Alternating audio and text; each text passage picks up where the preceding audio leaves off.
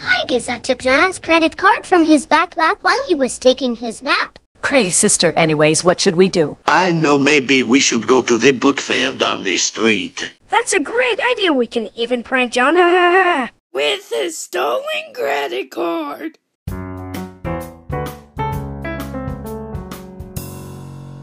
A book fair, it's a great place, kids. That's right, you kids will have fun. Go find all the books you want. Okay, thanks, Mama. Hmm, a book of how to fold clothes. I definitely need this book. Cool a book about dinosaurs. I love it. Pippi and the wildcat chess who the heck is Pippi and why does he chase cats? A puppy like you. I never knew I looked so handsome. Look at this book, Papa. It's about frogs. Gee, that's very cool. What about this one of gaming?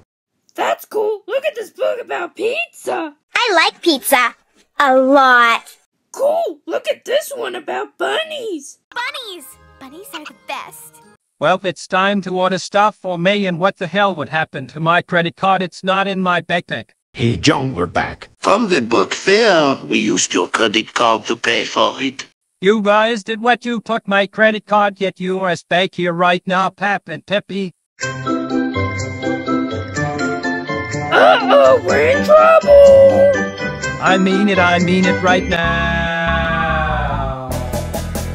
Toot toot chugga chugga big red car.